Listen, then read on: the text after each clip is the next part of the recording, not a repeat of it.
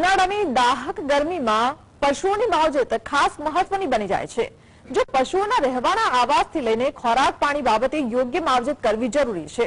જો આ બાબતનું ધ્યાન ન આપીએ તો દૂધ ઉત્પાદનમાં સીધો ઘટાડો થાય છે.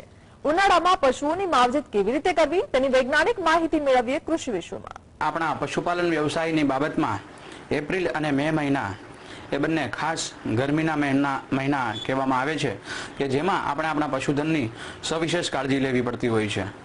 હવામાન શાસ્ત્રીઓ પણ હાલના સમયમાં અલ નીનોની અસરને લીધે ખૂબ જ ઊંચા તાપમાન બાબતે આગાહી કરી રહ્યા છે. અને આ સમયે જેવી રીતે આપણે પશુપાલન ઉનાળામાં કાળજી લેવી જોઈએ, એ ખૂબ જ મહત્વની બનતી હોય છે. શિયાળામાં અને ચોમાસામાં. એટલી બધી પશુની કાળજીની આપણે જરૂર રહેતી નથી. જેટલી આપણે સવિશેષ કાળજી ઉનાળાના સમયમાં લેવી જોઈએ. તો આપણે ક્યાં ક્યાં પગલાં ભરવા જોઈએ? પશુમાં ઉનાળાની ગરમીને લીધે તણાવની પરિસ્થિતિ ઉત્પન્ન થતી હોય. તો આ પરિસ્થિતિ ઉપર કયા કયા પરિબળો આધાર રાખે?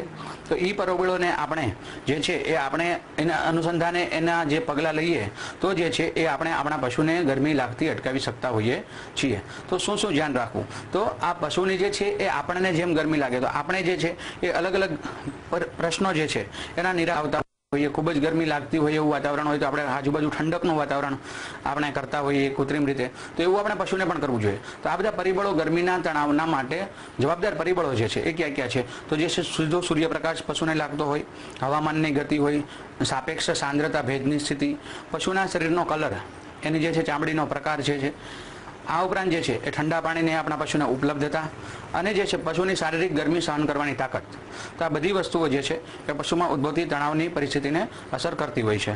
તો આ એક એક પરિસ્થિતિને આપણે નિવારવા ચાર વસ્તુ ખાસ જે છે, એ ઉનાળાના સમયમાં મહત્વની બનતી હોય છે.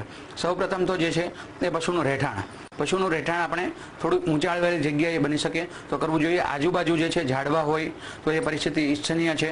આ ઉપરાંત જે છે, પશુને હલનચલન માટે પૂરતી જગ્યા ઓવરક્રાઉડિંગ ન થઈ જાય, પશુઓનો ભરાવો ન થઈ જાય. એ ખાસ આ બાબતમાં આપણે જોવું જોઈએ. દરેક પશુને રહેઠાણ માટે પૂરતી જગ્યા આપીએ, પૂરતા હલનચલન માટેની જે છે એ વ્યવસ્થા કરીએ. આ ઉપરાંત બની શકે તો ગરમીના કલાકો દરમિયાન આપણે પશુને જે છે એ ઠંડક માટે મિસ્ટર અથવા તો જે છે એ ફોગર પણ લગાવી શકીએ. જો એવી વ્યવસ્થા વધારે પડતી ન થઈ શકે તો આપણે પંખા દ્વારા પણ જે છે એ પશુને ઠંડક મળી રહે તેવી વ્યવસ્થા કરીએ. પશુને ગાય વર્ગનું પશુ હોય, ભેંસ વર્ગનું પશુ હોય બની શકે તો દિવસમાં ત્રણથી ચાર વખત એને ધમારીએ. ગરમીના કલાકોમાં પાંચથી દસ મિનિટ જે છે એને ધમારવાનું રાખીએ. તો આ બધી વસ્તુ આપણે કરશું. પશુ રહેઠાણ જે છે એની આજુબાજુ જે છે એ પાણીનો જે છે છંટકાવ કરીએ. પશુ રહેઠાણને તરત લૂ લાગતી હોય, તો એવું રહેઠાણ હોય, તો ત્યાં આપણે જે છે કંતાન, જે છે એ ક્ષણના કોથળા કહેવાય છે, એ બાંધી રાખીએ અને એની ઉપર પાણીનો છંટકાવ કરીએ કે જેથી હવા જે છે એ ઠંડી ગળાઈને જે છે આપણા પશુને આવે. તો જે છે એ પશુને ગરમીની અસર ઓછી થાય. આ ઉપરાંત પશુ જે છે સીધા સૂર્યપ્રકાશમાં ન રહે, એ ખાસ આપણે જોવું જોઈએ. દસથી ચાર વાગ્યાનો સમય છે, એ ઘણી વખત ખૂબ જ જે છે એ ઊંચું તાપમાનનો સમય હોય છે. જ્યારે હવામાન શાસ્ત્રીઓ ઓરેન્જ એલર્ટ, રેડ એલર્ટની આગાહી કરતા હોઈએ છીએ આપણને ખબર છે.